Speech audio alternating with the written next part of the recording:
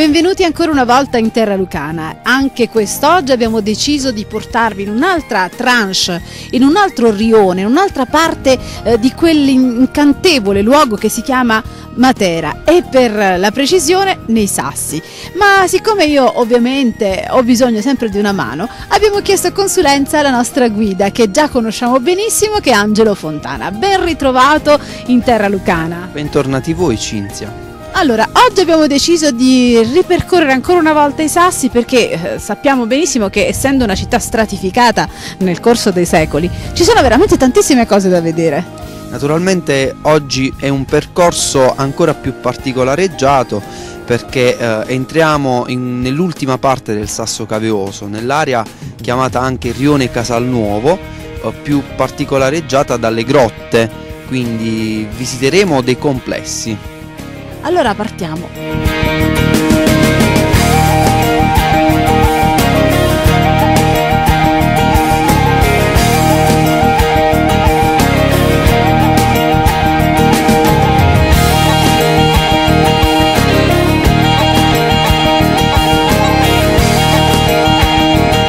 E passeggiando passeggiando ci siamo ritrovati davanti all'ingresso di un palazzo, eh, di un convicino cosiddetto. Il convicino di Sant'Antonio è uno dei complessi rupestri più interessanti che abbiamo nella nostra regione, ovviamente di epoca monastica, è mh, formato da quattro chiese che sono intercomunicanti, ovviamente un tempo eh, erano utilizzate dai monaci, ma poi addirittura nei sassi, come abbiamo capito dalle altre puntate, poi le chiese sono state trasformate, queste addirittura come cantine, prima di diventare abitazioni. Quindi diversi utilizzi per la stessa struttura che adesso noi andremo a vedere stanza per stanza. Entriamo di qua.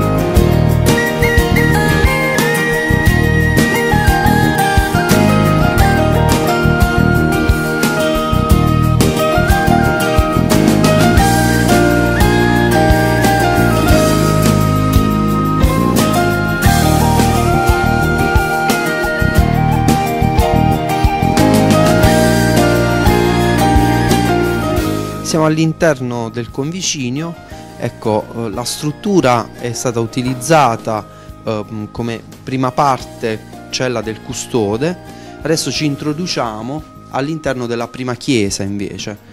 Quindi la prima parte è stata anche riutilizzata da parte degli abitanti come abitazione, tant'è che qui abbiamo dei segni, a destra c'è una cisterna di raccoglimento dell'acqua piovana e a sinistra i segni della canna fumaria della cucina una cucina che era alimentata da tre fornacelle, due a carbone e una a legna.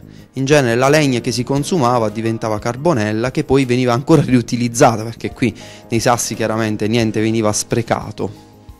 Come diciamo si faceva una volta un po' in tutta Italia, però i sassi sappiamo che hanno comunque una particolarità e adesso continueremo a scoprirle.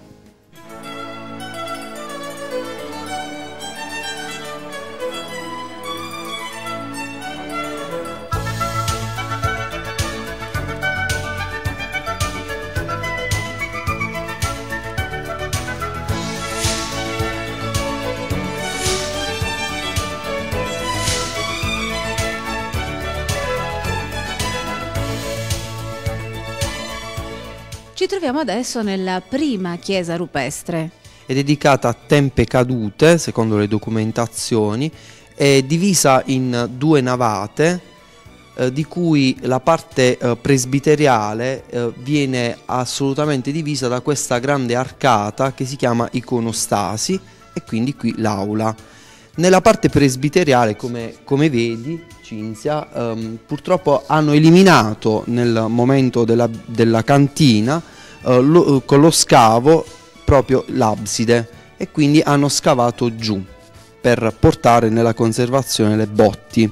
Ovviamente ai lati dell'altare c'erano queste aperture dove troviamo delle croci che erano il diaconicon e la protesis. Bella anche la parte ecco, del soffitto, come vedi, a nervatura centrale eh, a tenda, tutta completamente scolpita. Cioè questi monaci erano anche dei bravi architetti, in quanto loro dovevano cercare di distribuire il peso con questi pilastri quasi esagonali, ecco, e chiaramente con queste arcate.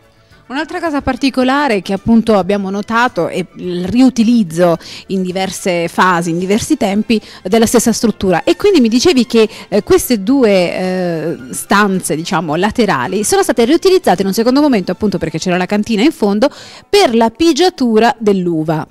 Sì, infatti hanno poi costruito davanti questa parete dove nell'interno con i piedi pigiavano oh, l'uva e dai fori sottostanti prelevavano il mosto. Il mosto veniva messo nelle tinozze e poi chiaramente nelle botti che come dicevo prima portate giù fermentavano eh, e quindi eh, dava, dava il vino. Continuiamo ancora la scoperta di quelli che sono i residui purtroppo di alcuni affreschi perché bisogna comunque dire eh, che purtroppo c'è molta umidità in questa zona e soprattutto in questa struttura. Ehm, naturalmente mm, gli affreschi sono stati, sono stati rovinati dalla, dalla, dalla, porosità della roccia perché ovviamente l'umidità uh, ha fatto il suo lavoro.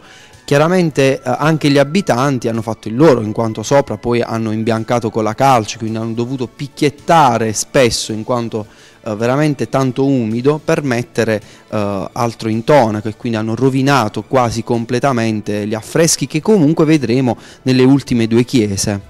Andiamo a scoprirli allora.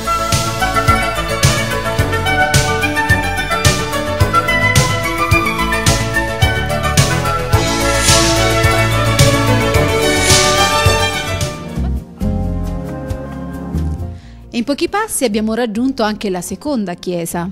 Sant'Eligio, ecco questo è il nome della seconda chiesa che ha una tipologia strutturale simile ovviamente alla, alla prima, solamente che questa è a una sola navata, chiaramente anche qua eh, sono state cambiate tante cose, l'ingresso in origine era eh, a est da quella parte e ehm, la cosa più interessante è proprio il presbiterio. Durante i lavori di restauro con i fondi del Giubileo del 2000 è venuta fuori una immagine eh, bellissima del XIV secolo che rappresenta la Desis del Cristo.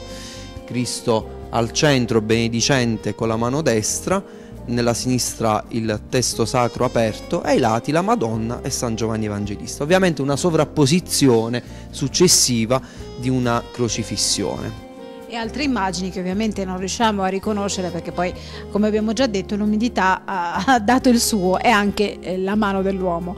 Ma adesso dove andremo?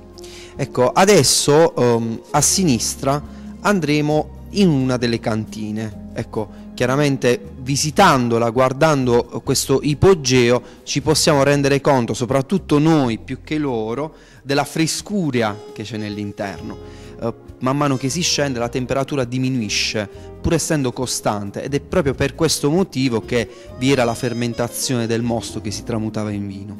Allora noi andiamo in cantina, non troveremo del vino, però...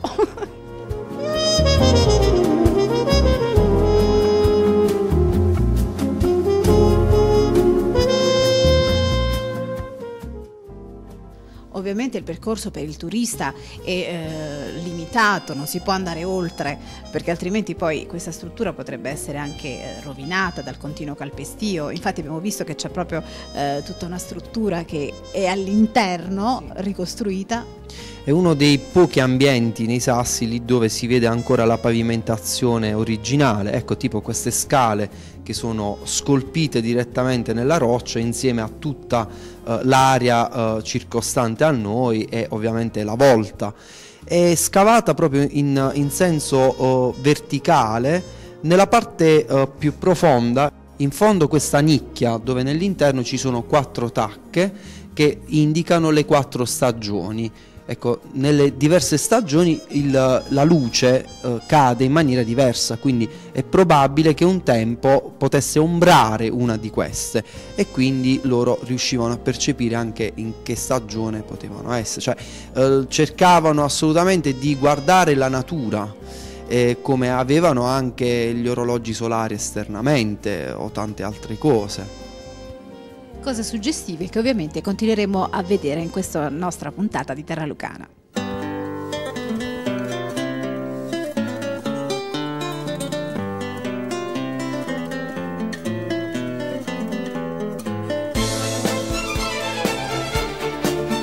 E la terza chiesa collegata alle altre due che abbiamo visto sinora è quella di San Donato. Sì, ecco, è rappresentato proprio all'interno di questo arco che divide la navata di destra con quella centrale, più ampia rispetto alle laterali. Questa mm, è la più completa delle, delle quattro, eh, la più grande, quindi probabilmente è anche la più importante. Ecco, girandoci come, come facciamo in questo piccolo percorso della chiesa, vediamo ancora altri affreschi. Questo è eh, San Leonardo, vedi eh, cinse nella mano sinistra le catene, il testo sacro, la benedizione con la mano destra alla latina, mentre su, nell'area presbiteriale, abbiamo una cupola una doppia circonferenza concentrica con una croce gigliata, è completamente scavata nella roccia, quindi ancora una volta una chiesa che è una scultura. Allora, per continuare a scoprire queste particolarità, ovviamente racchiuse in questo cuore di pietra che sono i sassi, noi consigliamo di venire a trovarci, no? Sì, sicuramente eh, se venite a Matera potreste contattarmi al sito www.sassennatura.it. Ma siccome non è ancora finita qui la nostra avventura per oggi, andiamo fuori e ripercorriamo ancora un pezzettino di questo convicinio. Sì, l'ultima chiesa.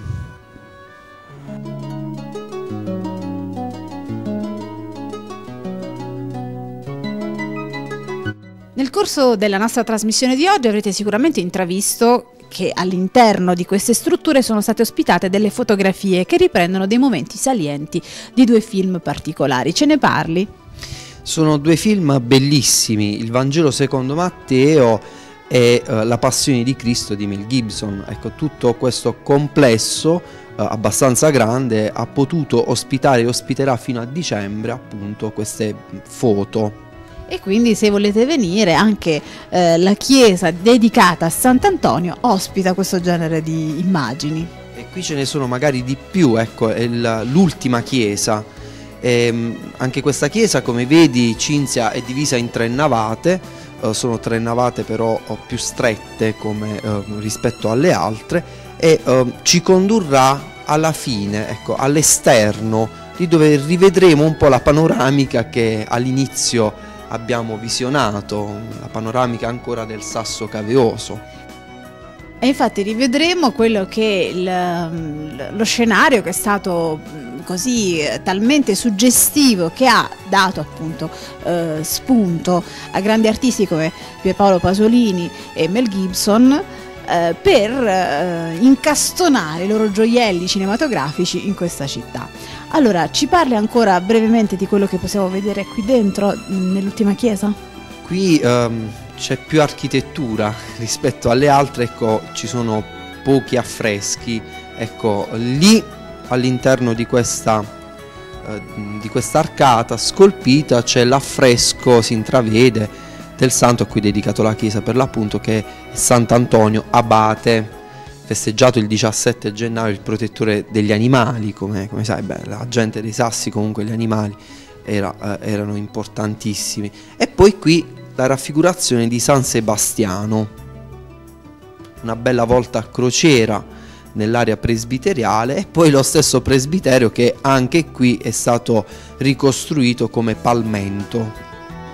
Allora andiamo a dare un'ultima occhiata a questa straordinaria città di Matera, ovviamente dalla visita uh, dei Sassi e poi ci congediamo da voi.